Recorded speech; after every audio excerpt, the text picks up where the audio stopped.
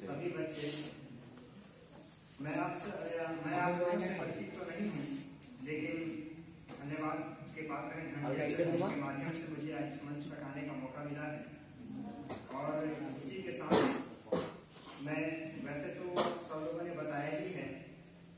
Sir अभी बता ही रहे थे बहुत ही बेशकीमती बातें आप सब लोगों को किस तरह से अपना जीवन जीना है आप आज यहाँ से जाने वाले हैं, आज आखिरी दिन है, लंबे समय के बाद यहाँ से हमें इस जगह को छोड़ करके और काफ़ी सारे जो रिश्ते हमारे बीच में थे, उनके साथ बंधनों से कुछ समय के लिए आज़ाद होना है। वैसे इंसान का हृदय रूपी लगा, जुड़ाव जो है वो तो बना ही रहता है, लेकिन यहाँ से आप जाने के साथ साथ सबसे बड़ी चीज़ अगर कुछ लेकर के जाएँ तो अनुशासन लेकर के जाएँ और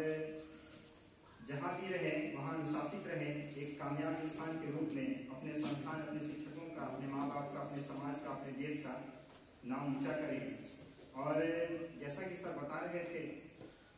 कि हम सबके सबसे पहले भगवान हमारे माता पिता हैं, वास्तव में ये सही भी है, क्योंकि बचपन से उन्होंने ही हमें इस काबिल बनाया है कि आज हम इस मंच तक है, यहाँ तक है। जो जहाँ पर है, कहीं ना कहीं उनका भी योगदान है। उसके बाद हमारे गुरुजनों का एक बहुत बड़ा रोल होता है, हमारे जीवन को बनाने में तो इसीलिए इस संदर्भ में मैंने वैसे दसवीं में एक कविता पढ़ी थी उर्दू में, और कविता बहुत अच्छी लगी हुई लेखक को लिखा है। कि दौलत दर्द को दुनिया से छुपा कर रखना,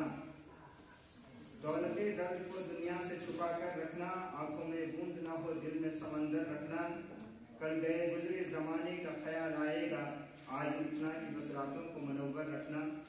अपनी आसिफता, मेरा जी पे हँसी आती है, दुश्मनी संग से और कांच का बेकर रखना और याद रखना कि जब तुम बस में बैठे हो या दोस्त, दर्द कैसा भी उठे, हाथ में दिल पर रखना।